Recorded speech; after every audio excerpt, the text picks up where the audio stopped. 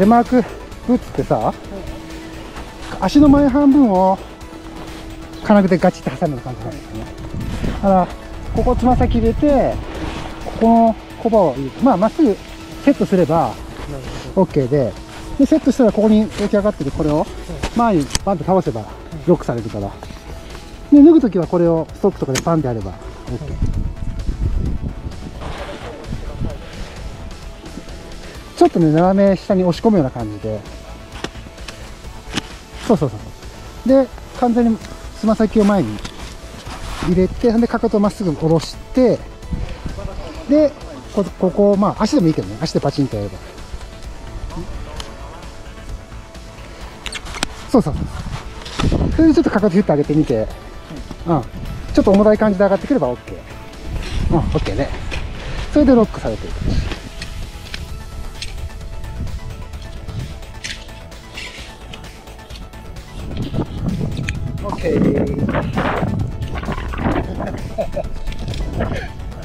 どう？初めてのテレマーク。だから、すごい危ない。まっすぐ進みながら前に行ったら、こけ方としては結構危ないこけ方する可能性がある。そこを気をつけないと。テレマークって結構こう、胸打ったり、顔面をこのスキのトップにぶつけたりとか、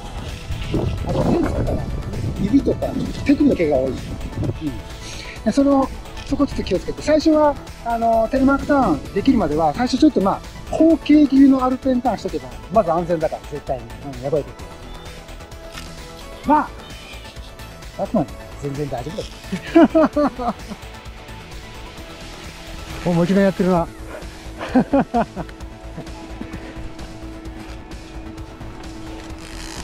どう？いけそうな気がする？結構怖いです怖いんだ。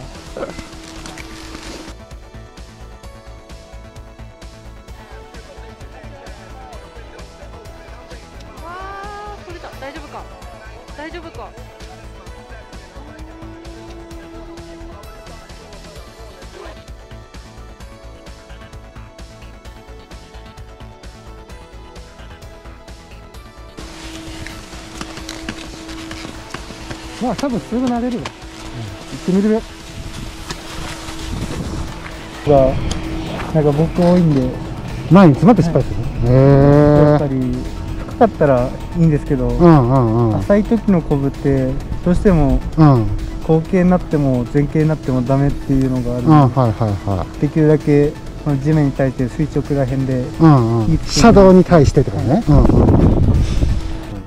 まあ一番なんか、まあ、モーグの滑りって感じの、うんテールを当てて出荷っていくっていうのが、まあ、結構、まあ、緩いところだったら子供でも誰でもできるようなターンなんですけどうん次にレベル高いんだと。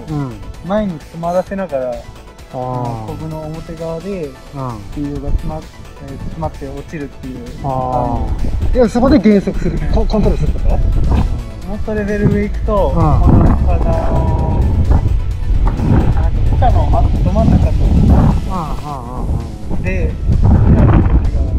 やっぱり真ん中にある方が足動くてまあ、そら、そらそうだよね。うん。もちろん。詰まらせるっていうのは結構難しいわね。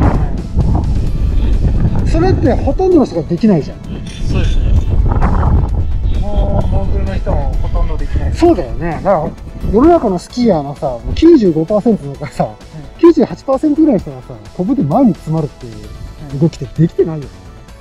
って思うんだけど、できないですできないよね。よっぽど上手いとされる人でも。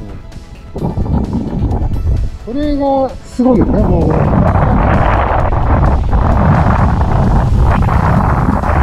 はそう、今回、テレマーク入ってもらって、テレマーク入った状態でも、その前に詰まらせて減速させる技術って使えるのかどうかこのかかとのグレードで。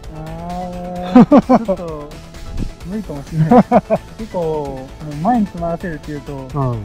女子女子の選手でカービングやってる人が多いんですけど、もはう本当にブーツ頼りでいはいはい。あれしてるんで、ブル普通ヒールピースがあるからはいいけるみたいな。うんうん。なんで、それで前詰まらせたっけ？だけどまあね、ちょっといろいろやっていくと分かると思うんだけど、テレマークでかかとを組んだけど、前を詰まらせる方法ってね、実はね、あるんだよね。うん、俺も、実、その体現、自分でそこまで滑り駅として表現を完全にしきれてないけど、そういうね、好きにトップを詰まらせるっていうテレマークでも実はね、やる方法があるの。そこを、パートナーに開発してほしいんだよ。前の方が、えっと、足前に出てる方が、うん。つま先前にやって、えっと、表のところで、つま先を前にうん。軽用すると、うんちゃんと詰まらせれるかもしれない。そうね。それか、ポイントはやっぱこう後ろ側に足、ああ、はい。内足で詰まらせる。うん。どっちかっていうとね、内足のトップを詰まらせるんだけど、内足は後ろから引っ掛けて、引っ掛けるんだよ。はい。インラインスケートで言ったら、こう、後ろ足でブレーキかけてするってあるじゃん。はいこうあんなイメージ。インラインスケートのトップでガーってこう、まっすぐでブレーキする方法あるじゃん。あんなイメージ。それで、前後に100テルマークでトップを詰まらせる。内スキのトップを詰まらせるって感じの原則ってできると思うんだよね。結構、ちょっとでもバランスできたらやばくないですやか。だから難しい。内足ポジションですも。うん。だから、テルマークだとね、内足の荷重ってなかなか抜けない。はい。基本内足には乗ってなきゃいけなくて、常にね。内足に乗った上で、外足をどう使っていくかみたいな。そう、もう、まあ、前に行くしかない状態になってるから、いつでも前に行ける状態になってるから危ない。まあ、それで最初、あれだね、な誰も何も言わないから、たくまが思うように滑ってみるから、この道具履いて、怪我しないでね。ゆっくり。そうそうそう。まず最初、あのースキーの技術ほぼ使えるんで、あのーど真ん中に乗ってれば絶対大丈夫。スキーと一緒で。まあ、気持ちいい、まあ、前に行き過ぎないような感じで、ど真ん中よりもちょっと後傾気味のポジションのアルペンターンをやってみて、あのーまず道具に慣れる感じ。あ、結構いけるなって分かったと思う。テレマークって別にテレマークする必要ないから。テレマークターンしたい時にすればいいんだよ。そういう道具だから。何が何でもテレマークしなきゃいけないわけじゃないんだよ。で最初ちょっと滑ってるね。で、そっから、もしかしていきなりできるかもしれない。やっぱ、テレマーク乗ってる人ってスキーが上手です面白い。あっちねやっぱスキーだったら、あ体重が抜けても大丈夫なんですあ。よ。ああ。やばいね。うん。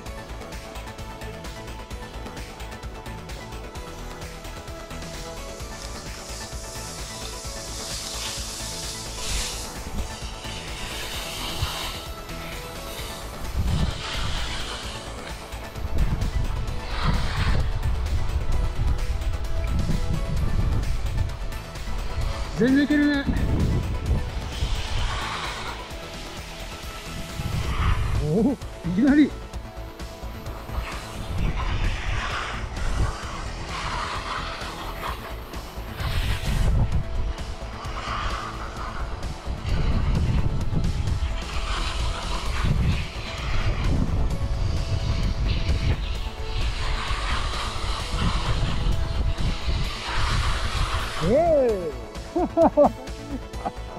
どんな感じ今の滑りだと多分この間アルペン普通のスキーブーツでやってたテレマークターに近い感じかな。うん。うん。で、テレマークはもっともっと内足で使えるから、もっともっと前後差も取れるし、そうそうそう、こんな感じで開いていくんで、まあそこはもう、この後もう一回説明しようかな。とりあえずリストまで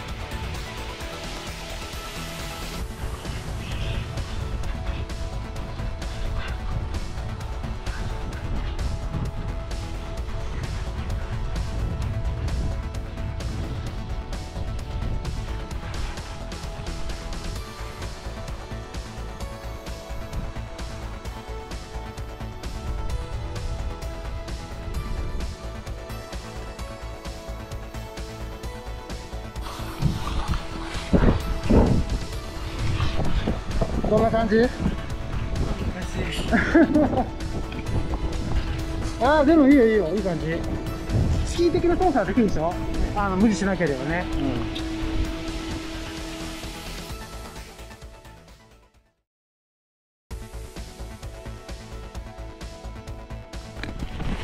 で打ち足なんだけどあの乗り方としてはこういう作り方？うん。そうそうそうそう。まあそこを押さえ込む。道具を黙らせる。そうそうそうそう。そう肩打ったやつの平らうん。ボトムで。あのこけ方もさなんかほとんど CG のバグってる CG だったよね。